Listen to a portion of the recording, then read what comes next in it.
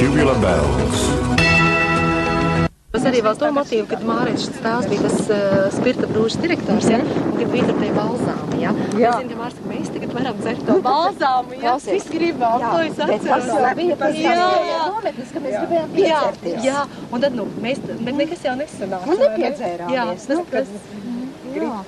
Jā, mēs gājām tad tās sveces tur dedzinātajās ārā, Jā. jo es, Tas es bija ļoti skaisti, skaisti. Tas Tas koks bija nogāzies, un mēs Jā. tās sveces salikām. Jā. aizdedzējām. Ziemassvētku. Tas ir jaungads. Jā, jā. Jaunais gads, Un jā. nekad atbalsts, vai es tik, tik skanīgu atbalstu neesmu dzirdējusi, kā toreiz te 1. janvārī, kad mēs aizgājām.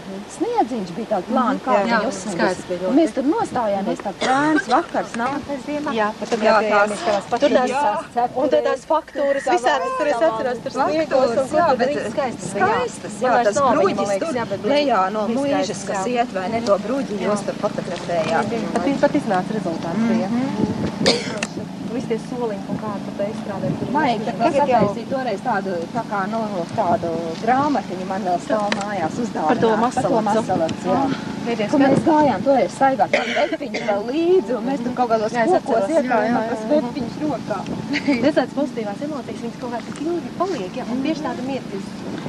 Tas tā interesanti. Cik tev pagaist un nekā nav. Tikā tā bildes vēl tad, kad izstāvēm, ka Mārcis stāvā. Jā, jā, tas stalečā. Jā, Viņa tagad apskatījos. Tu tur bija tur bija to koku, arī atmanīji tur tā poēma. Jā, tā tā izstādē bija galīgi punktiem arī tie nosaukt.